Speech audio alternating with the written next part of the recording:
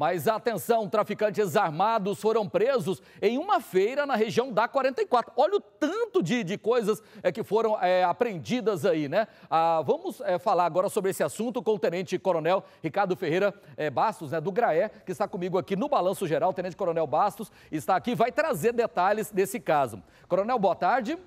Boa tarde, Loares, e a todos que estão nos vendo. Bom, conta pra gente aí, é, é era uma feira, tipo a feira hippie, algum balcão ali próximo a 44, como é que era? É isso mesmo, eles estavam vendendo droga ali na região da 44, ali debaixo de banca, como se fossem uns transeuntes normais, só que estavam com drogas. Eles no meio monta... do povo, tá, tá, armado e com drogas. Eles montaram bancas fingindo que eram feirantes, mas estavam vendendo era drogas? Isso mesmo. Aí até na imagem tem pouca gente, porque é igual você falou aí, a questão da chuva, né? Mas eles estavam debaixo de banca como se fossem vendedores de, de produtos da feira. Para a gente ter uma ideia, Coronel, conta para a gente aí, né? Qual foi a quantidade de material apreendido? Olha, foram aproximadamente, foram algumas porções de maconha, ah, que, estão, que, que estão nesses papelotes aí, e uma arma de fogo e um pouco mais de mil reais, tudo em dinheiro trocado. Porque esses papelotezinhos são mais baratos, né? Eles compram com dinheiro trocado. Agora, esse pessoal, eles, é, pelo que vocês levantaram, eles já vinham fazendo isso há algum tempo ali? Afirmativa. Após a, a, a, prisão dos mesmos, né, foi feito o levantamento e eles já mantinham essa, esse, esse, esse modus operandi. Agora... Então eles. E, e, no meio do povo, né, no meio de todo mundo, vendendo é, como se fosse uma mercadoria normal. E a, pela quantidade de dinheiro aí, é, também o volume de vendas era considerável, né, Coronel? Isso mesmo, foi mais de mil reais em pacotes pequenos, então assim, já tinha tido bastante venda, né? Então assim, tinha mais drogas do que isso, só que já foi passado para frente. E, e, e, durante a abordagem, inclusive, um dos, das pessoas abordadas estava no momento comprando a droga.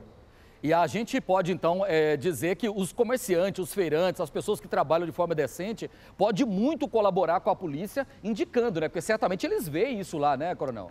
É isso mesmo. Inclusive, assim, eles estavam tão descarados, né, podemos falar assim, vendendo no meio do povo, que uma pessoa viu e entrou em contato no GRAER Denúncia e passou as características e onde aí a, a nossa viatura deslocou para a região e conseguiu abordá-los devido às características. Na foto eu vejo pelo menos seis pessoas né, que, que, estavam ali sendo revistadas. Quantas tinham ligação direta com isso aí? Era, eram três, ligação direta. Como estavam todos próximos, né, durante a abordagem tem que ser feita a abordagem com todos, porque a gente até levantar a situação do cidadão, não tem como a gente não fazer esse tipo de abordagem. Então foram abordados esses aí que estão deitados e posteriormente constatado que são dois que estavam vendendo e um que estava comprando. Todos eles com passagem por, por, por crimes de tráfico, de furtos. E, inclusive, o que estava comprando também já tem passagem por, por furto. Agora, eles estavam usando algumas barracas vazias porque os feirantes não foram por causa da chuva? Ou eles realmente eles trabalham ali é, é, vendendo alguma coisa para disfarçar? Não, não, eles estavam usando barracas de pessoas que não foram. Eles não têm banca lá, não. Então fica aí o trabalho, gente. Você que sabe, né? Você que tem informação, é, você pode ajudar a polícia, porque o camarada estava armado. Caso acontecesse alguma briga, algum desentendimento ali, poderia colocar em risco a, a vida de cidadão de bem, né, coronel? É isso mesmo, né? Se ali, é, com aquela arma, se algum fosse comprar e houvesse um desentendimento, né? Poderia haver um disparo de arma de fogo no meio da multidão, né? É uma situação bem complicada. Então a gente sempre entra em contato com a pessoa que qualquer, qualquer cidadão que veja uma situação suspeita pode entrar em, tele, é, em contato via Graer Denúncia, via 190, que a PM vai estar sempre pronta para agir e atuar nessas situações.